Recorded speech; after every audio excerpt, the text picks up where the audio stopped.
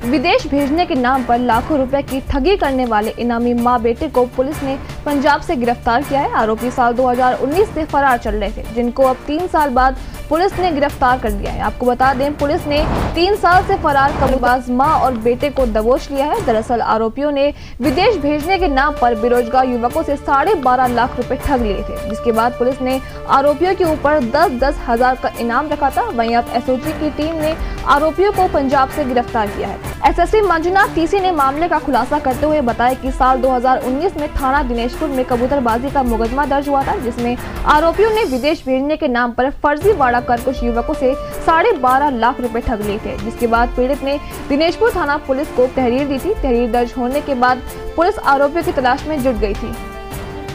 उन्नीस में एक मुकदमा पंजीकृत था, जिसमें 400 बीसी का मुकदमा था, जिसमें कबूतरबाजी का एक आरोप था, जहाँ पे गरीबों को फॉरेन भेजने के नाम पे साढ़े बारह लाख रुपए हड़प दिए थे। इस मुकदमे में कुल मिला दो लोग वांछित चल रहे थे, तीन साल से।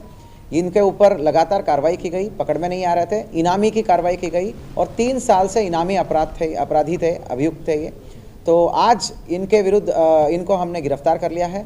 एसओजी की टीम द्वारा लगातार सुराग राशि, पता राशि में एक आज बहुत सफल एक हमें उपलब्धि मिला है, जिसमें ये दोनों तीन साल से जो फरार चल रहे थे, इनामी, दस हज़ार के इनामी लोगों को हमने गिरफ़्तार कर दिया पंजाब से। उसमें दोनों का नाम है